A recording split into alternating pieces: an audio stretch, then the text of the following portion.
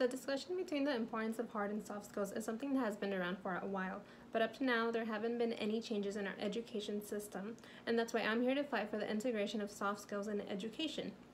But first, what exactly are soft skills, you may ask? Hard skills, as Kiana Nordskog defines them in her article, are those skills which are quantifiable, measurable, technical, or doable, such as the subjects taught in school, math, science, and English. Soft skills, or non cognitive skills, as David Denham calls them in his article, cannot be quantified numerically through IQ or achievement tests, and as Ada Zing mentions in her TED Talk, refer to your interpersonal effectiveness. As listed in a curriculum created by the U.S. Department of Labor, such skills include communication, networking, enthusiasm, attitude, teamwork, problem solving, critical thinking, and professionalism. All skills that at one point or another one will need in life. For instance, as I'm sure you've all heard before, effectively communicating with members of a group project can prevent one person from doing all the work, and believe it or not, it actually works. Also, effective communication while planning a group trip can prevent a lot of arguments and disagreements from occurring. That's also true. I've been there. But the big question then is, how do you do that? And that's where this becomes a problem. In a document developed by the U.S. Chamber of Commerce Foundation and the Advancement via Individual Determination nonprofit organization, also known as AVID, it states Many employers are finding that recent graduates are unprepared to succeed in the workforce because they lack foundational soft skills such as professional communication, critical thinking, collaboration, and time management. In addition, in Susan Dean's and Julia East's academic journal, it stated that 50% of employers surveyed globally identified workers with a skill gap to be deficient in soft skills. Therefore, soft skills are important and affect one prof- one's professional life. Without soft skills, people won't have the skills necessary to succeed professionally, but also personally, because as Bernard Schulz mentions in his journal, a large part of soft skills relates to personal traits and habits, such as creativity, time management, knowing how and when to communicate with specific people, and problem solving skills. These are all skills we need and go beyond the workforce, but many people don't know how to manage their time efficiently, prioritize, or solve problems for themselves. As stated in the U.S. Chamber of Commerce Foundation article, the importance of these skills is widely acknowledged, yet they are not taught with consistency or given prioritization. The reason for this problem is because soft skills are not taught in school. Education says hard skills are more important than soft skills because if you're skilled enough and have sufficient level of expertise in the area, you'll most likely get the job. However, I say soft skills are as or more important than hard skills because as Zhang argues in her TED Talk, hard skills are what gets your foot in an interview, but the soft skills are what keep you in there. And as Dean and E state in their journal, possession of technical skills alone is no longer sufficient for employees in the highly competitive marketplace of the 21st century because the need for individual soft skills has taken on heightened importance. Therefore, as Don, Don Barnard mentions in his article, a lack of soft skills can limit your potential or even be the downfall of your business.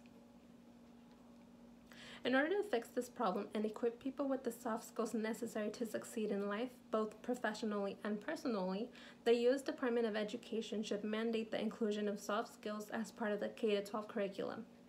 Many people may argue that soft skills such as organization, creativity, time management, work ethic, conflict resolution, etc., are all skills that are learned through experience and therefore are needed, aren't needed to be taught in schools.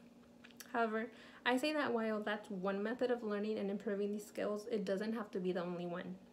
Ashwell argues parents and school teachers have superior influence on, young, on a young person's aptitude and soft skills because these skills can be developed early on, and children spend most of their time with parents or educators, and in some cases, educators.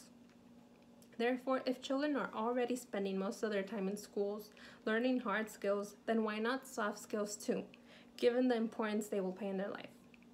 This way, students would graduate with the hard and soft skills needed to succeed and would be prepared for whatever they path, they path they decide to take, whether that's college, workforce, or something else. Obviously, students won't, grad- won't graduate as perfect young adults who know exactly what they want in life, but at least they will know and have the skills necessary to achieve their goals and navigate life. My plan is to integrate soft skills as part of the K 12 curriculum, but I know many people will argue against this and say that if soft skills aren't measurable, how will teachers determine whether students have learned these skills and let alone teach them? As is recognized in the curriculum developed by the U.S. Department of Labor, soft skills cannot be taught in a vacuum, nor can they be acquired simply because the goal of a lesson plan indicates it shall be so. Rather, they must be introduced, developed, refined, practiced, and reinforced. And I say Schulz has already provided us with a great strategy to do so, and that is embedding the training of soft skills into hard skill courses. An approach to this would be to turn the purpose of a lecture upside down, as Schulz argues, and make the content of the lecture be the vehicle to teach soft skills. By integrating soft skills in education, students would be exposed to the skills early on and would be able to develop, refine, practice, and reinforce them all throughout their education. And as the saying goes, practice makes perfect.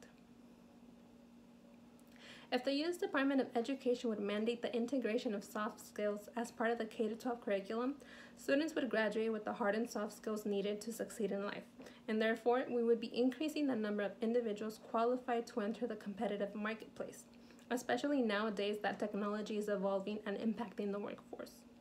As I've mentioned before, hard skills are no longer enough, nor will they be, because according to the World Economic Forum, Part of the top 10 skills individuals will need to have by 2025 in order to be qualified for the workforce are skills involving problem solving, self management, and working with others, such as analytical thinking, active learning, creativity, leadership, and social influence, among others, all which, you guessed it, are soft skills. And here I have a picture of all the skills that would be needed, all the top 10 skills that would be needed for 2025. By implementing soft skills in education, we would be doing the future of this world a favor. And whether we like it or not, it's a future not too far from now because we are already being affected by this shift. According to Chloe Baird, she mentions in her document that the top six skills needed post COVID workforce are flexibility, creativity, communication skills, emotional intelligence, critical thinking, and of course, digital skills. And if I'm not mistaken, a lot of those were soft skills, which once again proves that soft skills are fundamental. For, for far too long, the importance of soft skills has been neglected by the institutions who hold the power to make a change. These skills are important and essential to life. Therefore, the U.S. Department of Education should mandate the integration of soft skills as part of the K 12 curriculum. Thank you.